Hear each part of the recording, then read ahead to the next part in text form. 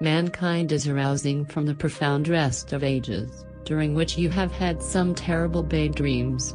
And right now is an ideal opportunity to stop those apparently unlimited encounters of partition and deserting which have caused you such a lot of torment and anguish. Life is intended to be bliss-filled at the same time, since you decided to encounter detachment from mother slash father slash God that has a whole lot the time not been what you have experienced. Partition has been a trial in which you have as often as possible gone through extraordinary torment, enduring, vulnerability, and dread.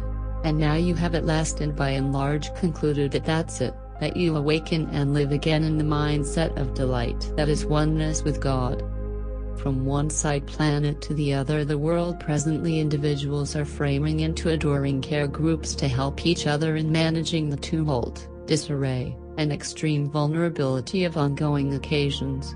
This meeting up is a significant part of the enlivening interaction, on the grounds that in meeting up with adoring expectation you definitely go to the acknowledgement that all are one, that every single one of you is needy on source, and on one other yet additionally on the natural climate that affectionately upholds you in every snapshot of your human life.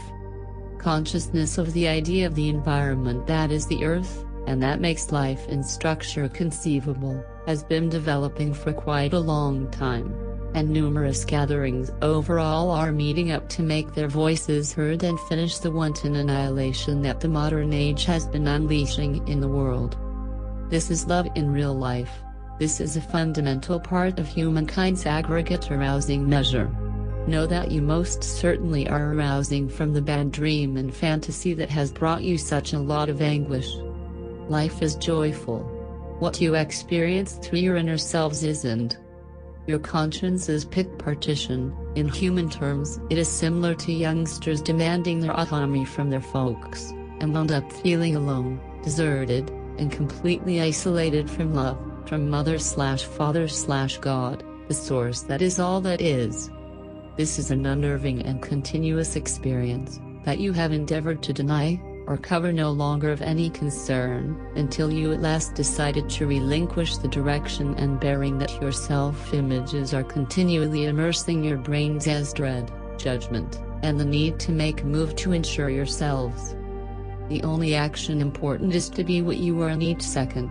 Love profound inside your souls all of you know this divine truth, yet when you decided to permit your personalities to direct and control your contemplations, words, and activities as isolated people, those inner selves successfully drew a cover or dim blind among you and source, and you wound up without admittance to love, your real essence. Presently, at long last, Mindfulness is developing quickly that the time has come to stir from the fantasy of detachment and get back to living affectionately. The best way to live. In each second. As I have said, there are indications of this great arousing all over the world which are extremely simple to see when you quit concentrating on the far and wide and broadly announced torment enduring and strife as this stuff that humankind needs to all in all recognize. Discharge and pardon emerges into your mindfulness for this reason. Know about it.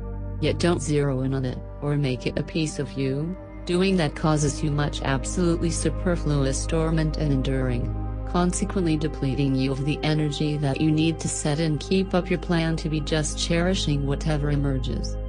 Your expectation to be what you are, love, carries massive harmony and recuperating to all, and is the reason you decided to manifest right now in the enlivening interaction. Nobody else can do it except for you, since you each have your own and individual significant picked undertakings in this most wondrous occasion. At the point when you question source, when you question yourselves, when you question that others are genuinely love, help yourselves to remember your profound inward knowing despite the fact that you question it, that there is just love, source, mother slash father slash God, you. There is just the one, and that one is love.